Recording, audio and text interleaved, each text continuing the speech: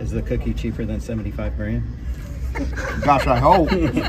Although, our, uh, you know, Scott Graves, our crew chief, his daughter makes homemade cookies. She makes them every week for the team. And this week's was chocolate chip with graham cracker, and it's a s'mores cookie. It's got a marshmallow on top of it. You're having a bad day, go to our hauler pop. We'll get you a cookie. Well, Yeah. uh, maybe some people should go there before uh, if they need a break. But um, I'm curious, what did you think the seventy-five thousand dollar fine to Stenhouse is the highest to any driver for throwing a punch? Did you feel that was excessive at all? Um, I didn't think a lot about it, Bob. um, I got so much drama going on in my own stuff. Um, so you're asking me to think about it, aren't you? Yeah. Is that really the question? If, if you don't think, if you don't have opinion, just say you don't have. I don't know if I have, don't have opinion. See, I, I just have this personal code that there shouldn't be any fighting in the garage unless it's in the top 10. If your wreck happens in the top 10, okay.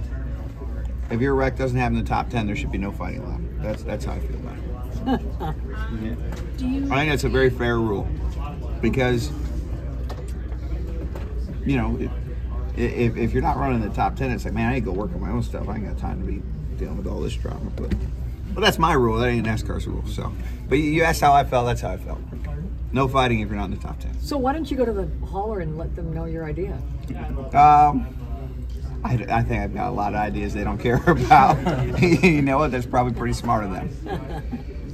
do you care, Brad, or have any opinion on drivers get fined for fighting or showing their emotions, but then NASCAR promotes it, right? Like it's all over social, it's all over videos. Is is there a difference there, or is that? Uh, you know, it's it's it's a conundrum.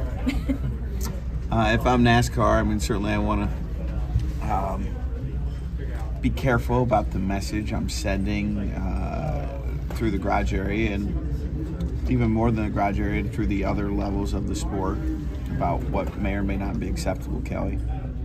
And so I, I understand why they need to react.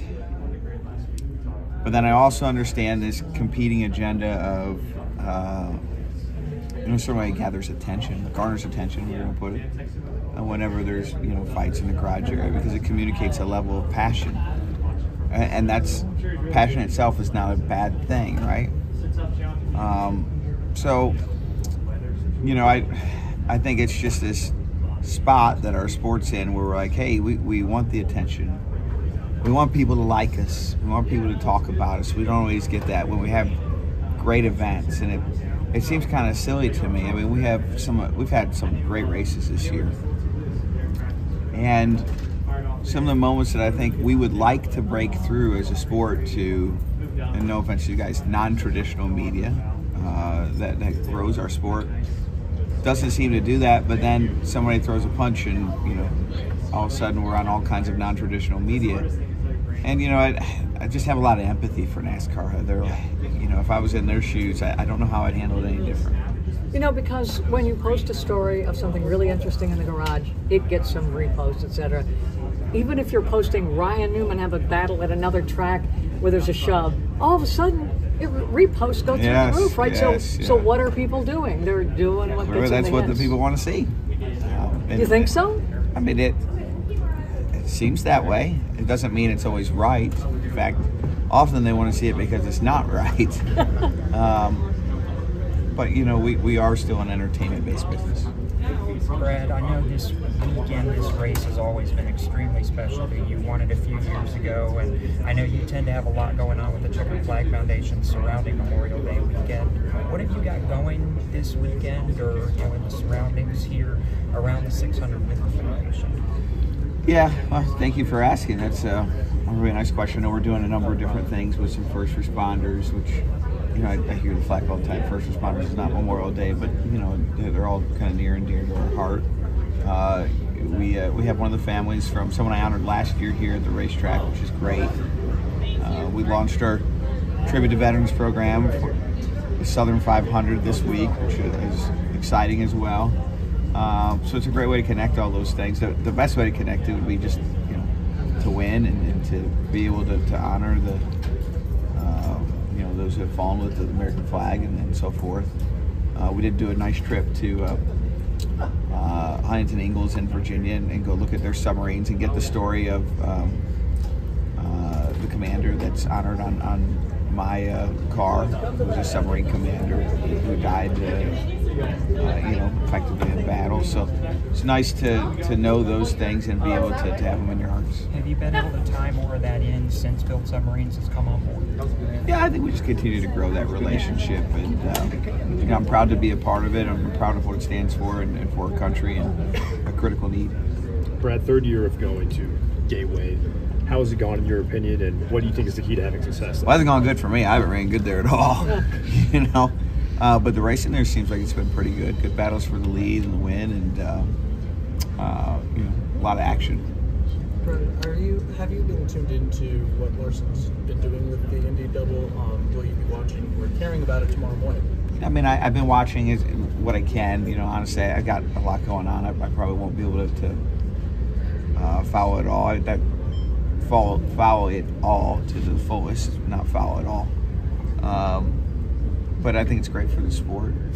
It's great for all motorsport, NASCAR, IndyCar, and it's it's a great story of how high tides can raise all ships. With you know him running the double, I think it draws attention to, to both series. Are you okay? Last week they delayed the start 15 minutes.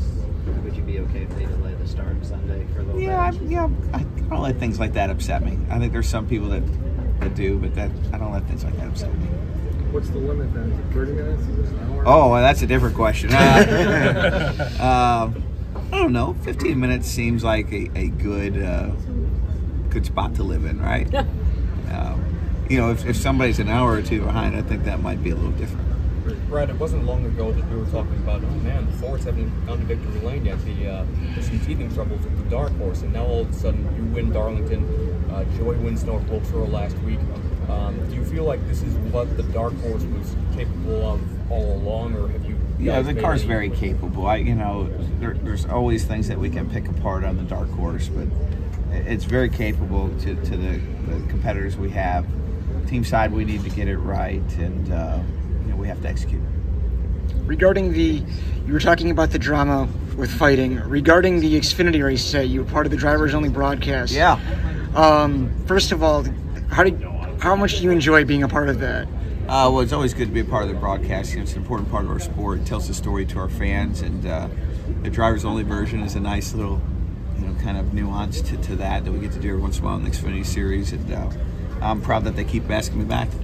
Now, when in the Xfinity Series trucks, younger drivers, when they have their battles, what are your thoughts on that? Be it Austin Hill today or other scuffs?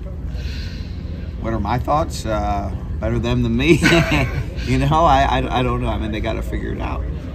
Um, and, uh, you know, ultimately, battles and scuffs like that hurt everybody.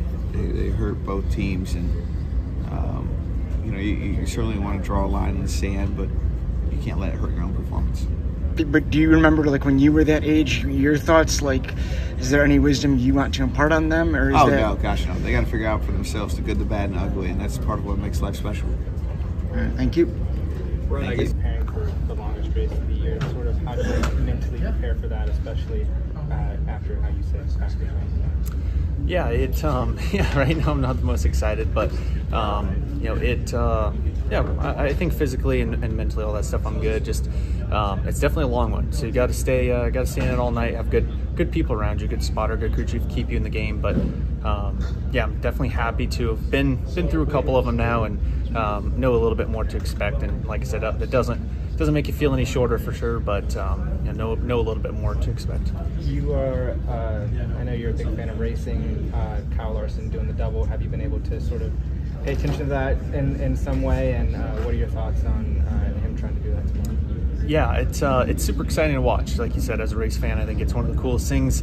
Um, you know, I wasn't really old enough to really remember right when like Tony Stewart or Kurt Busch or those guys did it, but um, yeah, I can't imagine. I was just watching kind of like a little clip of like when Tony first did it. Like he was um, he was struggling pretty bad at the end of the, the 600 here, and um, you know, since then, I think guys have, have kind of known more what to expect, right? About having IVs, having doctors kind of come with you and, and be ready for it all. But um, yeah, like you said, as a race fan, it's really cool to watch, and, and definitely hope he does uh, does well. Obviously, next year the 34 is open. I know that obviously no driver has been announced for 2025 for the 34, but what are the I mean, v- qualities that you value in a teammate?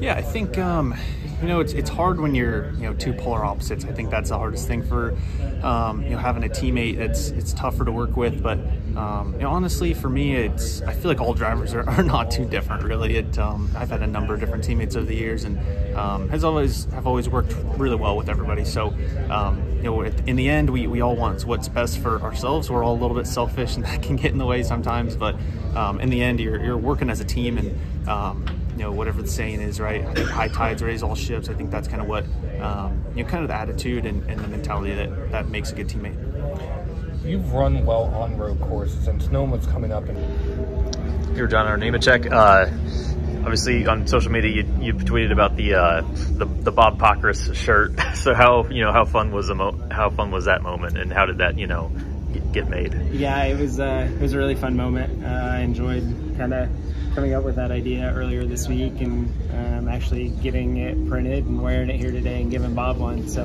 um, I mean, you can't get much better than that. It's it's pretty uh, pretty neat to see um, Bob be right there in the middle of the fight last week and the camera get flipped around on him. Um, he's been in quite a bit uh, in the middle of quite a bit of those, so it's pretty cool. Yeah.